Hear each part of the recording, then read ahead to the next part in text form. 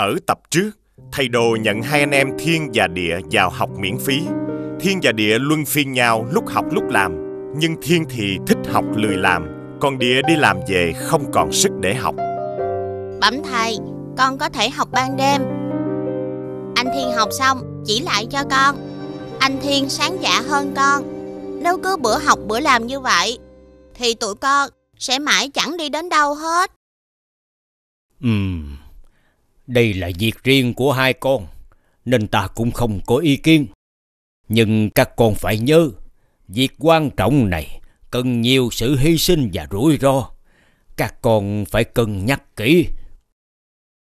Ta chỉ hy vọng các con là anh em tốt, mãi thương yêu nhau, thì rồi thành công sẽ đến đền đáp công sức của hai đứa.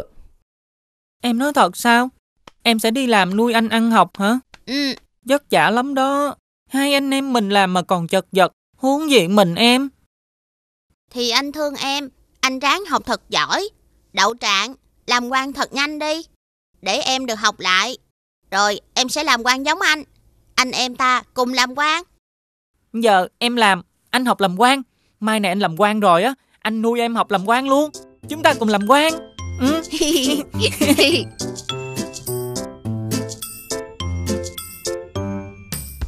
Thiên và Địa lớn dần lên, Địa cắm cúi đi làm kiếm tiền cho Thiên ăn học. Tối về, Địa nhờ Thiên chỉ bài, nhưng dần dần Thiên viện cớ không chỉ cho Địa nữa. Địa đành tạm ngưng việc học. Trâu ơi, ta bảo trâu này, trâu ăn no cỏ, trâu cày với ta. Ui cha, nói ăn cái là đói liền vậy hả? Ai bánh ít, bánh ú, bánh giò, bánh bánh cô ít? bán bánh, ở đây. Dạ dạ. Cho tôi mấy cái bánh ú đi cô. Bánh của anh đây Trời nắng mà anh chăm chỉ quá ha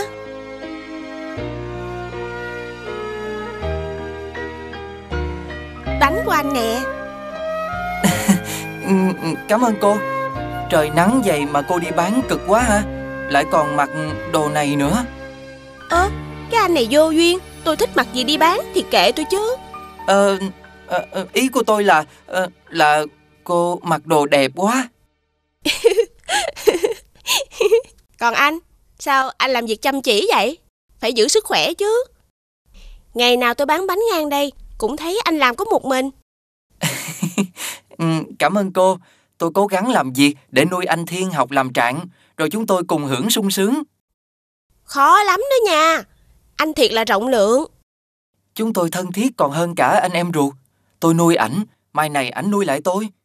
Thấy anh thật thà, chăm chỉ Lại lạc quan như vậy Thôi, coi như tôi tặng anh mấy cái bánh Giúp anh mạnh khỏe Mà nuôi dưỡng mơ ước của hai người Ấy ấy, cô bán bánh cũng cực khổ. Để tôi gửi tiền bánh cho cô nha. Ủa, cái cô này đi đâu nhanh vậy ta?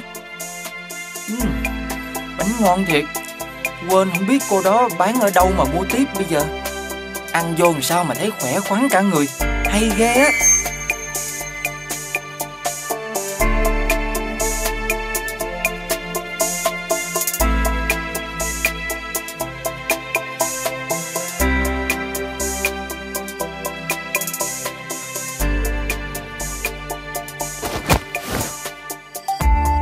đôi bụng buồn ngủ quá Sáng giờ học không được Giờ này mà địa chưa về nữa Ai bánh ít, bánh ú, bánh giò, bánh gai đây.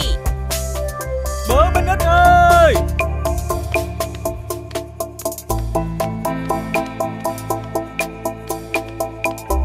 à, Quan quan thư cưu Tại Hà Chi Châu Yểu điệu thục nữ Quân tử hảo cầu Nè, phải anh mới gọi mua bánh không?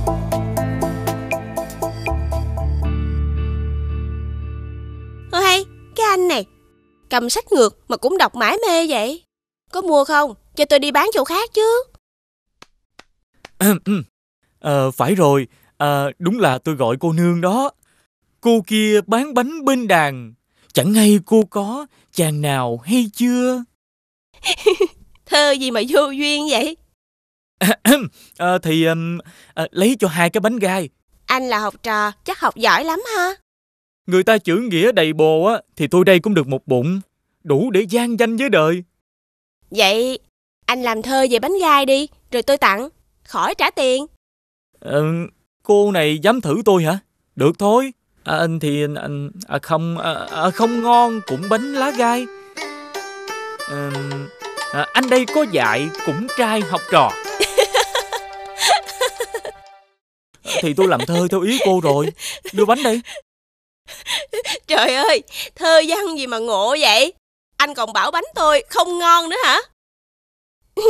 Chê như vậy là tính tiền gấp đôi à nghe. Mai này á, tôi làm quan trạng cho cô coi. Có thật vậy không? Cô thấy tôi như vậy cô không tin tôi hả?